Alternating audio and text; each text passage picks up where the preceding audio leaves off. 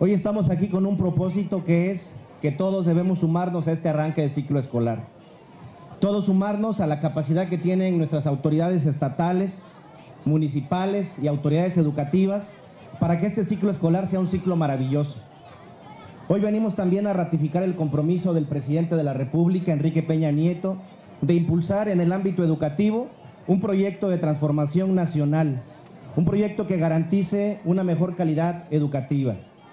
Señor gobernador, hoy CONAFE viene a sumarse a este esfuerzo coordinado por usted y da inicio también al arranque del ciclo escolar en casi 1.500 localidades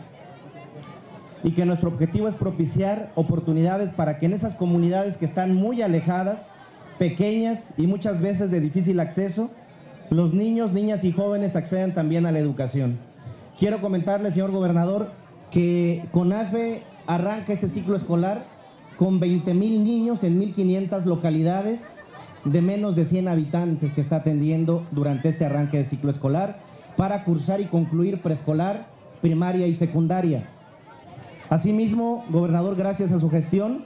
y con el apoyo decidido del señor secretario de Educación, Aurelio Nuño, y de nuestro director general, el ingeniero Simón Villar, hoy en el marco del programa de acciones compensatorias para abatir el rezago educativo, usted dará inicio a la entrega sin ningún costo, todo de manera gratuita, de 292.085 paquetes de útiles escolares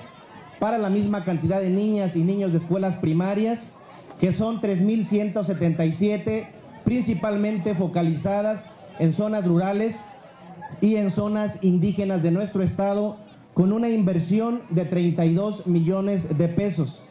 De manera específica, señor gobernador, quiero mencionarle que en la región de Costa Chica son beneficiadas 600 escuelas con un total de 64.253 paquetes de útiles escolares con una inversión de aproximadamente 7 millones de pesos.